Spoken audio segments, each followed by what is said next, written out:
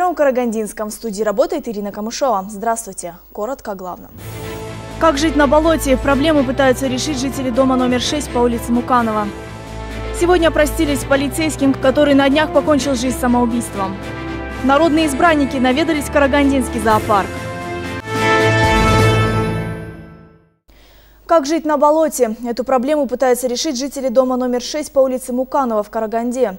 Решают ее уже не один год. Все их призывы о помощи теряются в болотной тиши кабинетов. Рассказывает Сергей Высокосов. Чтобы добраться к своим подъездам, жителям дома номер 6 и рядом стоящих зданий необходим гидрокостюм. Или, по крайней мере, болотные сапоги. Круглый год она стоит, вот это хозяйство тут.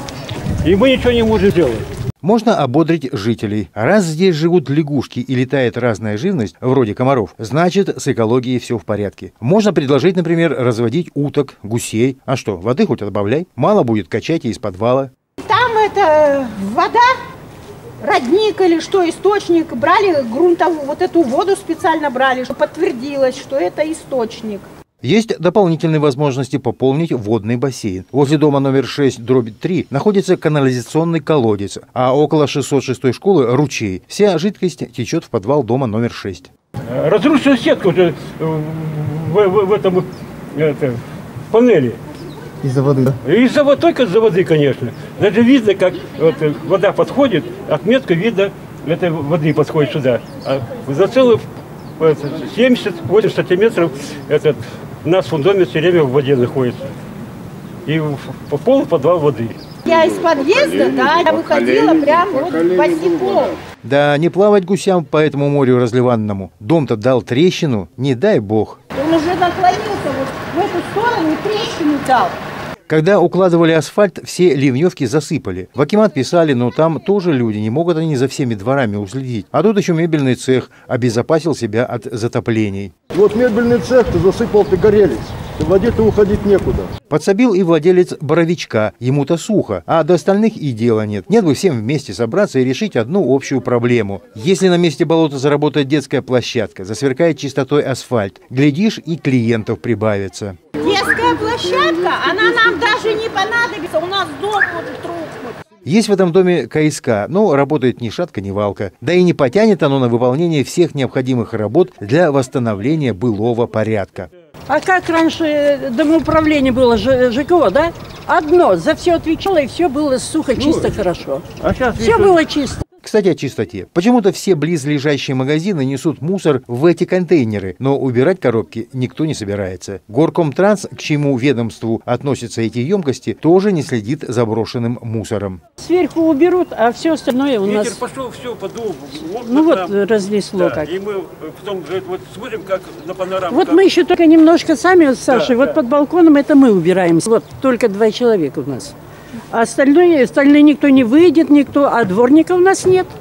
Люди живут здесь закаленные, всякого навидались. Выделили полтора миллиона на установку крыши. Взялась компания «Глория» ее сделать и сделала. Но никто не радовался. И правильно делали. В буквальном смысле слова ее ветром сдуло. Никто духом не упал. Жильцы верхних этажей сами за свой счет восстановили легковесное творение «Глории». Кто-нибудь извинился? Нет. А зачем? И так переживут. Может, и сейчас бы пережили болотную эпопею жители дома номер 6 по улице Муканова до терпения на пределе. И перед детьми неудобно. Ведь все-таки Казахстан строит новое социальное общество, во главу угла которого ставится задача повысить качество жизни всех граждан. Сергей Высокосов, Бауржан Алипов, Евгений Афанасьев, Первый Карагандинский.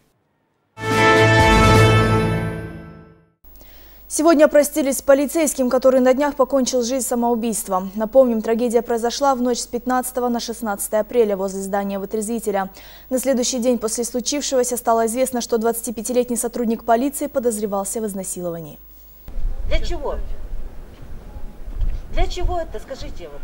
Я вот э, сестра. Угу. Для чего? Ну, наши соболезнования. У родственников погибшего шок. Потерявшие близкого человека говорить что-либо о случившемся попросту не хотели. Меня ночью не было, я только день работала. Ну а что, что слышали? Сотрудники вытрезвителя также о происшествии рассказывать не стали. В ДВД нашим корреспондентам рассказали, что полицейский должен был дежурить в вытрезвителе. Сюда он приехал на личном авто. В своей легковушке он и застрелился. По сведению пресс-службы ДВД региона, полицейский выстрелил себе в висок из стабильного оружия. Это произошло около часа ночи. Асхату Клышеву было всего 25. В органах он проработал около года. 25-летний полицейский полка патрульной полиции УВД города Караганды в органах внутренних дел с апреля 2012 года произвел выстрел в Высочную область справа из закрепленного табельного пистолета, в результате чего скончался на месте происшествия. Проводится расследование. А вот в агентстве «Костак» на днях появилось сообщение о том, что сотрудник полка патрульной полиции УВД Караганды подозревался в изнасиловании. Обвинила в преступлении полицейского женщина, которую погибший Асхат Клышев якобы довозила из вытрезвителя домой. В заявлении Карагандинка пояснила, что сотрудник органов внутренних дел предложил довести ее до дома и изнасиловал в салоне своего автомобиля. В ДВД области эту информацию подтвердили. Также отметили, что потерпевшая заявление по неизвестной причине забрала. Мирамгуль Салкимбаева, Тулигин Рашид, Марат Культенов, Первый Карагандинский.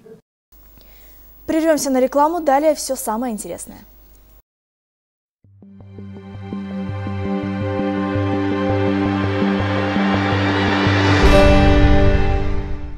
Молочная фабрика на Тиже представляет новый продукт ацидофилин.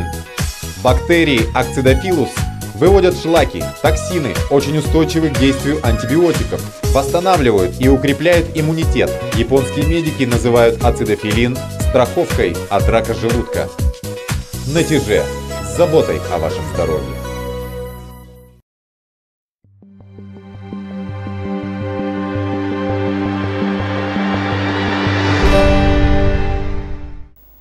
У дорожных полицейских началось сезонное обострение аварийности, а всему виной мотоциклисты, появившиеся на дорогах области после зимнего перерыва. За четыре дня апреля зарегистрировано шесть дорожно-транспортных происшествий с их участием. Увидев мотоцикл на дороге, неплохо принять повышенные меры безопасности. С появлением скутеров, байков и вовсе становится тревожно на проезжей части. По области сегодня зарегистрировано около 4000 мотоциклов. Только в этом году за три месяца встали на учет в управлении дорожной полиции 96 мотоциклистов. Основная проблема не в количестве мототехники, а в повышении аварийности на дорогах. Весенне-летний период особенно богат на ДТП с лихачами на железных конях. Учитывая, что водители мотоциклов, в отличие от спортсменов-профессионалов, практически ничем не защищены, защищены, кроме шлема, можете представить, какие травмы они получают при ДТП. Апрель месяц у нас уже 6 ДТП за 4 дня.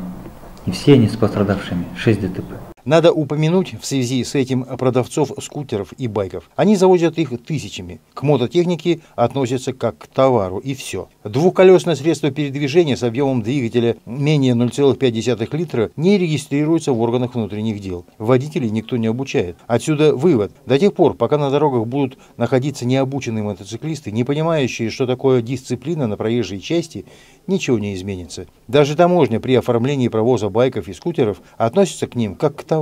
Мы сейчас этот вопрос уже начали поднимать на уровне а, областных управлений, чтобы привлечь хотя бы общественность туда.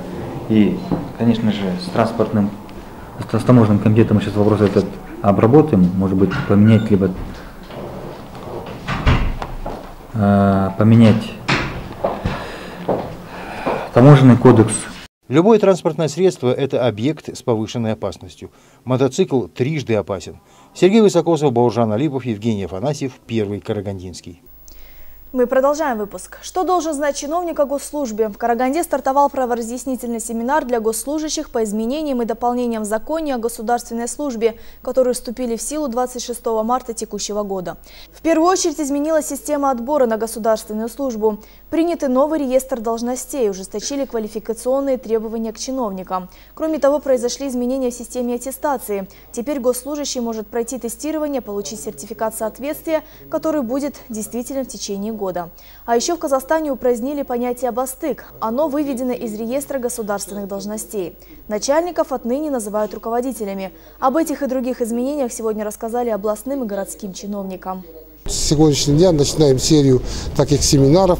Семинары как бы называются праворазъяснительные семинары по изменениям и дополнениям законодательства о государственной службе. Мы будем вот проводить во всех, не только в области, мы будем выезжать в каждый район, в каждый город нашей области и э, каждом государственном органе будем проводить, чтобы наши работающие государственные служащие, руководители государственных органов знали все э, те нормы, которые внесены вот, в новый закон о государственной службе. Депутаты наведались в Карагандинский зоопарк. Состояние местного зверинца на сегодняшний день в некоторой части оставляет желать лучшего. Аварийные вольеры для медведей, прохудившаяся крыша. Народным избранникам показали все болевые точки питомника. Накануне состоялось совместное заседание постоянных комиссий Карагандинского городского маслихата. Посовещавшись в кабинетах, народные избранники отправились сначала в библиотеку, а затем в зоопарк. Не на экскурсию, а решать проблемы, которых, слово, в Карагандинском питомнике скопилось немало. Визитная карточка шахтерской столицы с давней историей сегодня переживает не лучшие времена. Медведи, любимцы карагандинской публики, живут не в самых удобных условиях. Клетки старые, достаточно маленькие для взрослых бурых топтыгиных. Замена ограждений – процедура дорогостоящая, на которую средства из бюджета пока не предусмотрены. Четыре года подряд, каждый год передаем, требуем на вот, действительно хищных птиц, что вот это вольер было, и на медведей, и на копытных. Остальные более-менее уже сделано, понимаете? Да, и да, своими да. силами тоже. Ну вот это, конечно, делаем. явно мало, маловатые вольеры, да. А еще в зоопарке давно прохудилась крыша. Чтобы отремонтировать кровлю, необходимо 22 миллиона тенге. Где найти такие деньги, руководство зверинца не представляет. Необходимы специальные дорожки к вольерам. Об этом сотрудники зоопарка тоже рассказали народным избранникам. Депутаты обещали помочь. Кто, если не депутаты, поднимет этот вопрос? Вот. И я ну, гарантировать мы ничего не можем, но и тем не менее я только хочу сказать, что Акиму мы скажем, да, вот, Акиму скажем, Акимы к нам прислушиваются. Что касается крыши, конечно, мы будем однозначно, наверное, эти вещи лоббировать, потому что... Крыши и вольеры. Крыши и вольеры, да. Просто Вот. Для хищников, вот, обязательно, для копытных надо что-то посмотреть и, И птицы. Зато, как рассказала встречающая сторона по дорожной карте, здесь реконструировали большую часть ограждений и заменили коммуникации. Тем не менее, все вопросы, которые возникли в ходе выездного заседания, депутаты поднимут уже в ближайшее время на совместном собрании постоянных комиссий Карагандинского городского маслихата. Ирина Камышова, Жас Габасов, Марат Култенов, Первый Карагандинский. Доступно о доступном жилье. 19 апреля в 11 часов в Большом зале городского акимата состоится презентация программы «Доступное жилье-2020». К участию приглашают граждан, состоящих в очереди на получение жилья. Поселок Кокпекты в скором времени включат в состав Караганды. Такие поручения дал Аким области Баужан Абдишев в рамках рабочего визита в Бухаджирауский район. К слову, здесь в рамках поездки глава региона ознакомился с социально-экономическим развитием района, посетил объекты производственного и социального назначения, встретился с жителями. Глава области побывал на Нурказганском горно-обогатительном комбинате корпорации «Казахмыс», интересовался производственными показателями и условиями труда работников этого предприятия, а также спускался в шахту рудника Нурказган.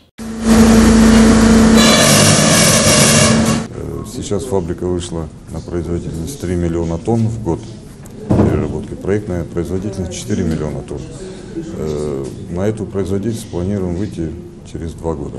А это поселок Кокпекты. Здесь Аким области осмотрел среднюю школу, ознакомился с ее материально-технической базой. В ходе встречи с жителями поселка Баужан Абдишев поручил Акимату Караганды передать учебное заведение ведомственное и территориальное подчинение областному центру. Помимо этого, глава области предложил местному населению и властям Бухарджирауского района рассмотреть вопрос о создании на ее базе мини-центра для детей дошкольного возраста, а для школьников организовать автобусное движение, чтобы они могли обучаться в ближайшей школе Октябрьского района. Баужан Абдишев пообещал, что в ближайшее время решится вопрос и с дорогами в поселке. Не затем сейчас подсохнет, по поселку надо пустить грейдер. Вот эти все дороги надо хотя бы. Вот эту дорогу а, 9 километров, сейчас определяйтесь, э, кто заявку даст э, э, в наше областное управление.